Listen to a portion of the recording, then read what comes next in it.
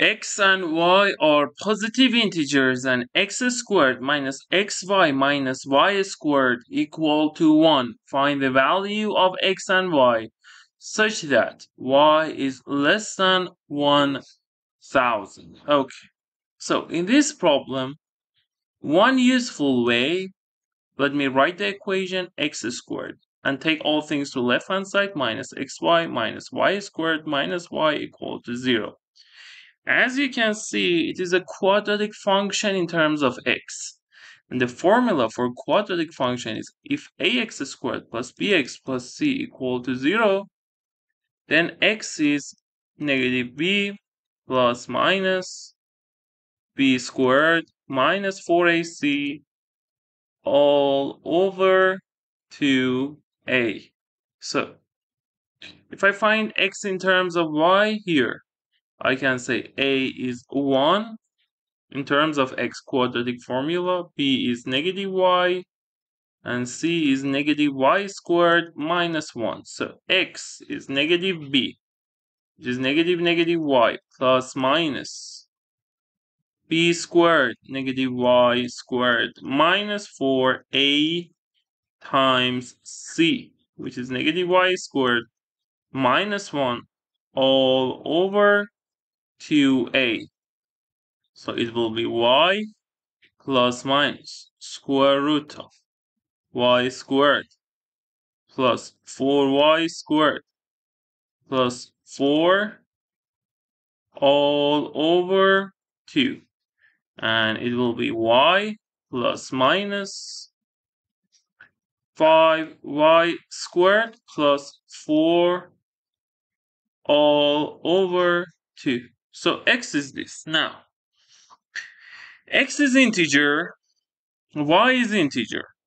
So, if I, for example, cross multiply, I can say, okay, 2x equal to y plus minus square root of 5y squared plus 4. So if we subtract y from both sides, 2x minus y equal to plus minus square root of 5y squared plus 4. So left hand side is integer. So right hand side has to be integer. Now what can we conclude when square root of 5y squared plus 4 is integer? We can conclude 5y squared plus 4 should be a perfect square. For example, z squared. Now, let's focus on this equation. 5y squared plus 4 equal to z squared. Plus 4 equal to z squared. If I take 4, subtract, let me tell you, negative 5y squared, or take this to right hand side, 4 equal to z squared minus 5y squared. And if we switch left hand side and right hand side 5y squared equal to 4. Now, we've only switched left hand side and right hand side. It is related to Pell's equation, which is useful also in Olympiads. You should know. We want to find the answers of Pell's equation. Let me tell you the strategy. It's useful in many problems. When you want to solve this problem at first, you should solve it and 5 shouldn't be perfect squared. And it's satisfied in Pell's equation. You should solve at first for 1 and try to find z and y positive integers and the minimum one, smallest one. And it has some factorizing, for example, some form, you minimize that. I don't want to tell complicated solutions, so let's do it together we should find one answer here and also the minimum answer for negative 5 z squared minus 5 y squared equal to 4 and z and y are positive integers. So here, if you want to find the minimum answer, z equal to, someone says, when we mean minimum answer, z plus y root 5 in both of them should be minimum, okay? So you say z1 doesn't work, z2 doesn't work, z3. Z equal to 3, 9, and y equal to 1. It is the best answer here, minimum answer. And now, we should also find for 1.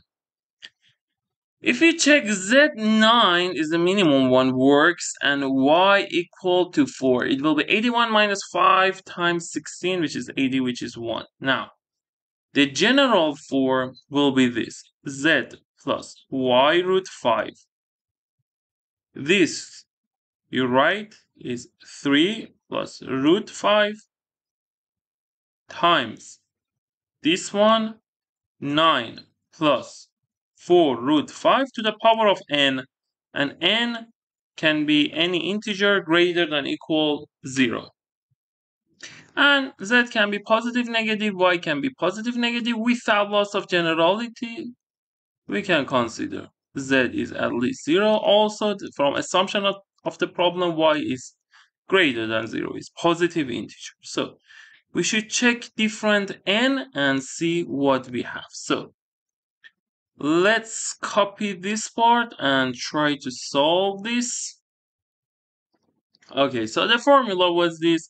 You should solve it for 1 and for example we find 9 and 4 and then you should solve for 4 it is this then because it is 5 you write this one with the power of 1 and this one with the power of n for each n works. So let, let's check.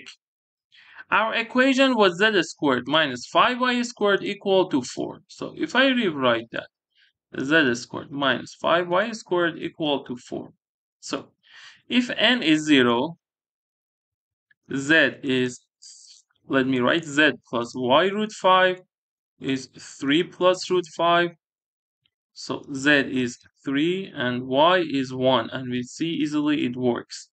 If for example n is 1, z plus y root 5 equal to 3 plus root 5 times 9 plus 4 root 5. Now if you multiply 3 times 9, 27. 3 times 27, 3 times 4 root 5 is 12 root 5. Root 5 times 9 plus 9 root 5. And 4 root 5 times this will be 4 times 5, 20. So it will be 20 plus 27, 47 plus 21 root 5. So in this case, z will be 47 and y will be 21. Okay.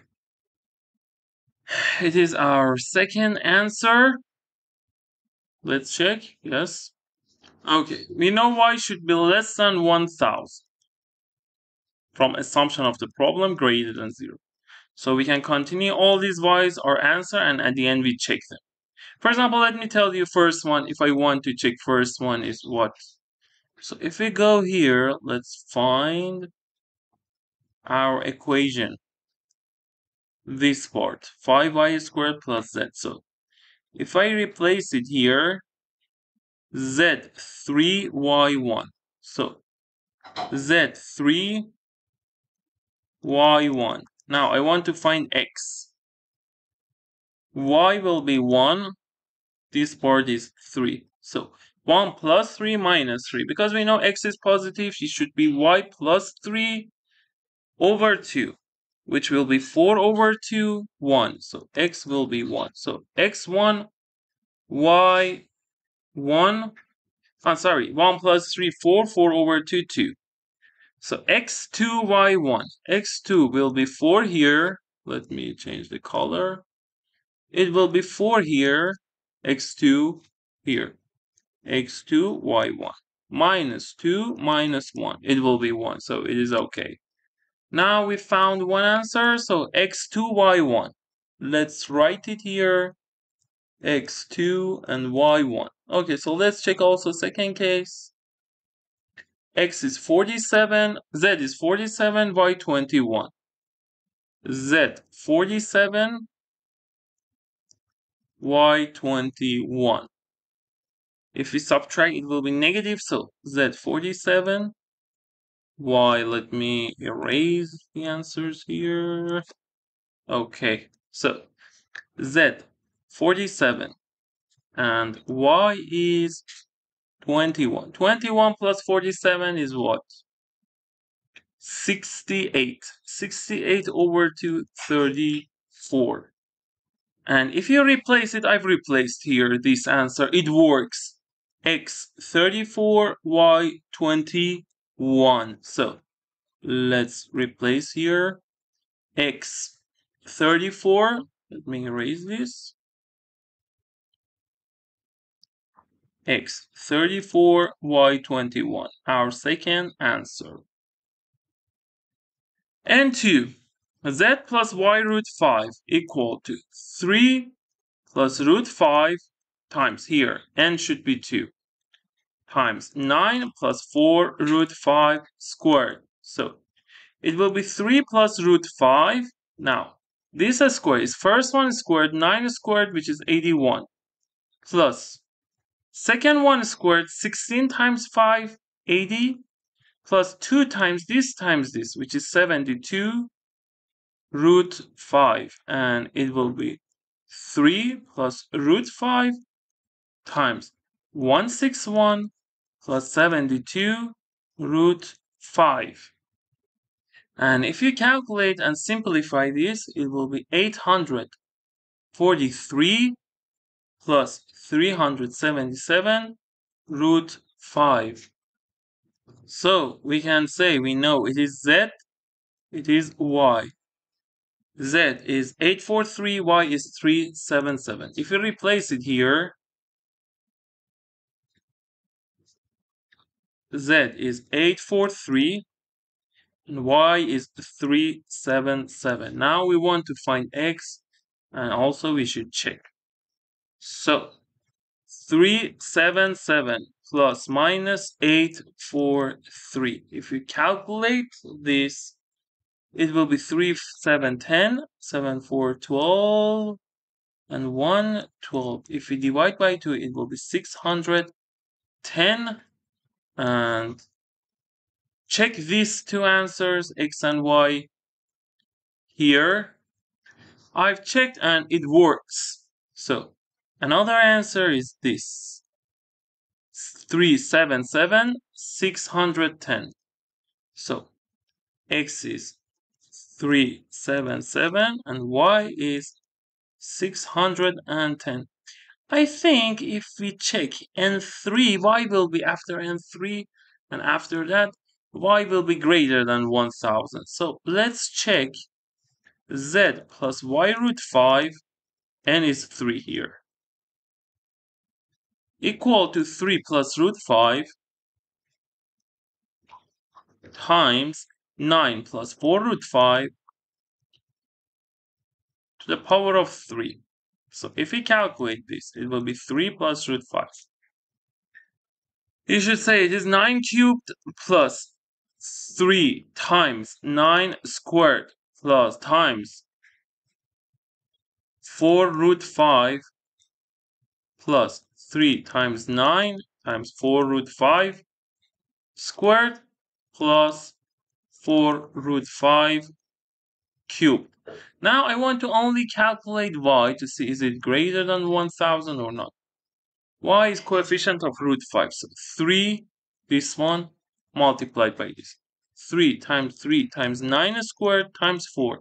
If we calculate this, it will be 9. 9 times 9 squared, 9 cubed, which is 729. And times this it will be also plus other terms. It will be greater than 1000. So you don't need to check. So if we check all our answers, we had three answers, x2y1, x34y21, and x377y610. Pell equation can be useful in many Olympiads. We can use in IMO, PMO for Philippines, and also in USAMO, in many Olympiad exams, also in other exams. If you want to learn important ideas like Pell's equation and other things in number theory, combinatorics, algebra, and geometry, feel free to send message to my WhatsApp number in the description and comments. Also, you can use my other playlist to improve your problem solving. Please don't forget to subscribe, turn on the bell, and like the video. Thanks for watching this video. If you have other solutions, comment below this video. Have a great day and bye.